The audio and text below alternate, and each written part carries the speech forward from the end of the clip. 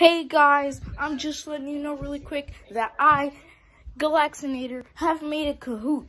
It's right there. That's the Kahoot that I made. And that's the Kahoot that you should go play. If you don't want to play it, I don't care.